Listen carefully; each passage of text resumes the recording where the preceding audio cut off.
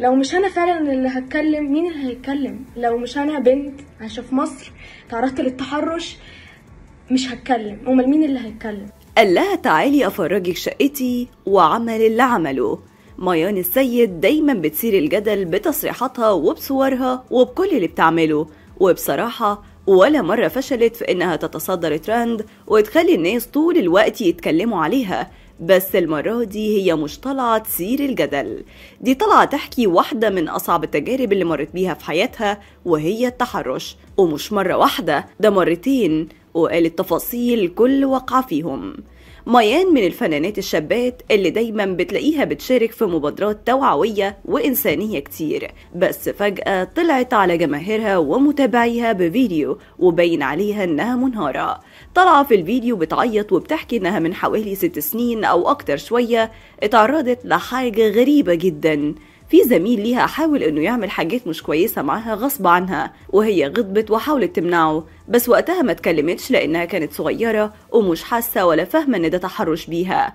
وبعدها بفترة قصيرة في ممثل شاب تاني زميلها من الوسط الفني وكانت بتاخد معاه ورشة تمثيل. الشخص ده كان بيعمل معاها حاجات هي فهمت في الآخر إنها تحرش بس وقتها برضه ما اتكلمتش وفضلت ساكتة. وبعدت عنه بعد ما قال لها تعالي أفرجك شقتي وهو بيقرب منها بشكل مش طبيعي.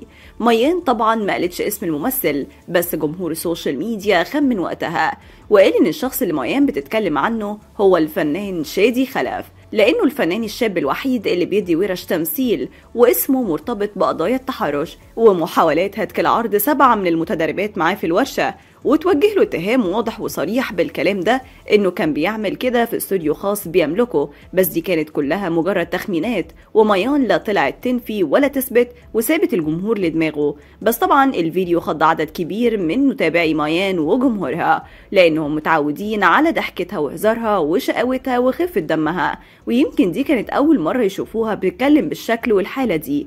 بس ميان ما كانتش طالعة في الفيديو تعيط عشان تكسب تعاطف الجمهور دي كانت طالعة توعي أي بنت إنها ما تسكتش على حقها وما تعملش زيها.